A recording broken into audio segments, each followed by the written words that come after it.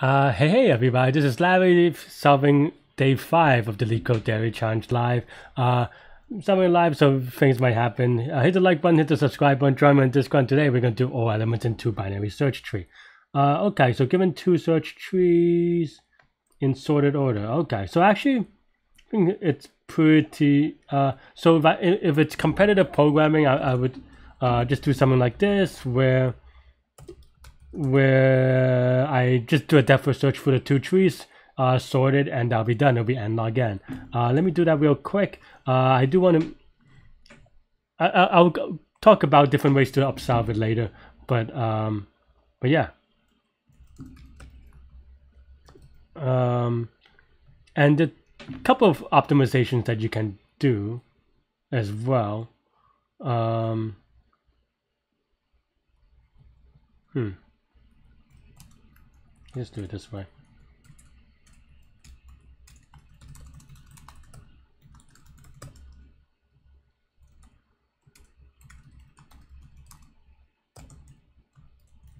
Left. Uh,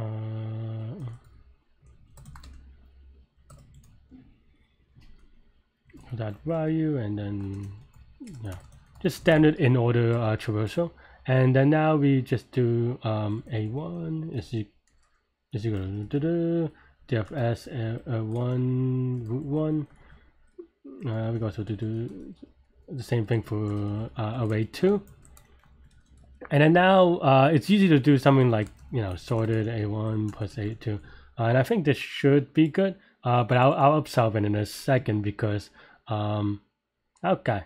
So yeah, so what is the complexity of this? Well, depth first search is going to be O of n, uh, and you know uh, and given n is the number of roots, we only look at um, we look at each node at most one, so it's going to be linear, uh, and then the sorted will make it n log n, right?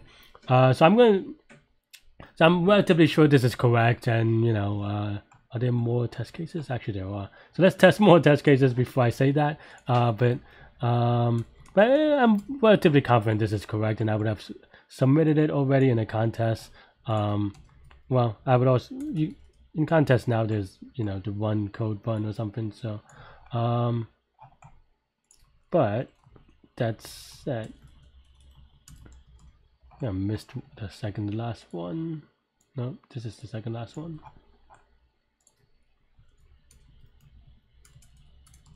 Uh okay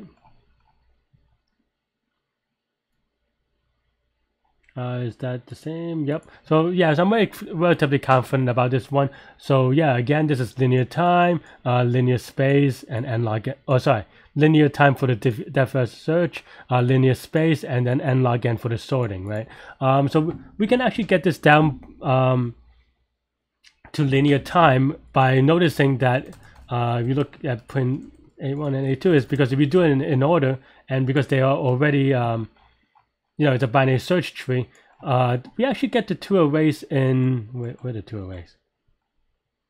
Oh yeah, you already, we already get the two arrays already sorted, so you just have to merge them, like in a merge sort or something like that. Um, so from that, we can actually implement that real quick. Um, yeah, so let's just do index 1 is equal to index 2 is equal to 0. Um, let's just do final uh, array is equal to this, uh, return array. Um, while index. And I write this in my own way definitely there are other ways to do this. So you know uh, do it in your own way. But th this becomes just merge sort um, the the merge step of the merge sort. So yeah if uh, one index one is greater than or two index two uh, on dot append or two index two index two. And if you can do it shorter let me know how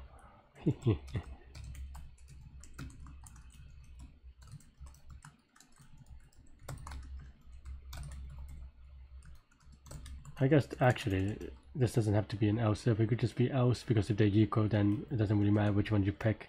Uh, and this is index 1 I have a typo. And then now what we have to do is just uh, get, get the stragglers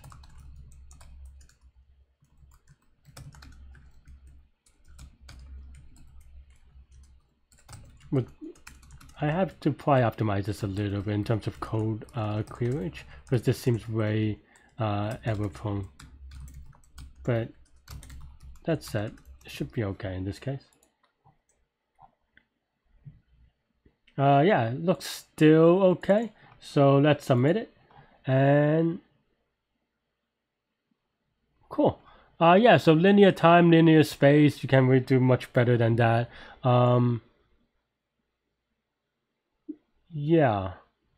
I think you can also, there's definitely a way you can do it uh, by using, um, instead of using a, a recursive based explicit, or sorry, implicit stack, we can probably do something with an explicit stack uh, and then just you know do uh, do a depth first search or move one and move two at the same time, uh, taking one bit at a time, uh, almost like uh, what's it called, the Morris traversal, where you you get one node at a time, but you know like getting a binary tree iterator or something like that. One node, uh, yeah, one node at a time from the uh, the both of those tree nodes, and basically it becomes merging in that case. Uh, I didn't do it that way, but yeah, so definitely, definitely um, something to think about and something for upsolving if you're into that.